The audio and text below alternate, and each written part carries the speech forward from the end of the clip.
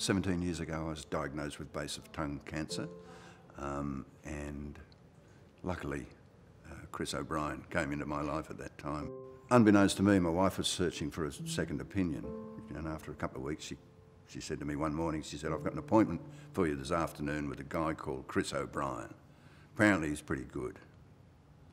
And I said to her, oh, look, I, I don't want to see anybody else. I said, I've, I've, I've they're only going to tell me what I know already. And uh, she got a little upset about that. And she said to me, listen, she said, if you think I'm going to spend the next few weeks watching you sitting in a corner with your knees under your chin, you got another thing coming. I put a lot of work into getting this appointment for you. I walked into Chris's consulting rooms and uh, sat down. I was just something about it. I just sort of knew that I was in the right hands. He, he brought out this minuscule diary about the size of an iPhone and opened the page and it was full of his minuscule writing. There wasn't a space that I could see in it. There wasn't a piece of white page left. I opened it up and he said, look, I can fit you in on June the 4th for the surgery. And I said, well, let's do it. And he got his pen out and wrote again in minuscule writing in there, filled up the only available space by the looks of it. And, uh, and but I saw that diary as a metaphor for his life, just crammed full of everything.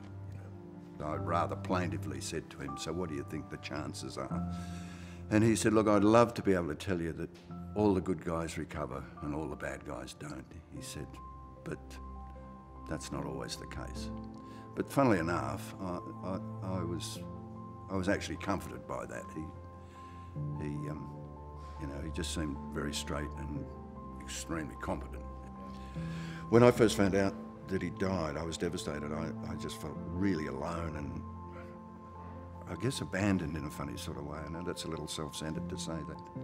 And I kept thinking of what he said to me that not all the good guys recover and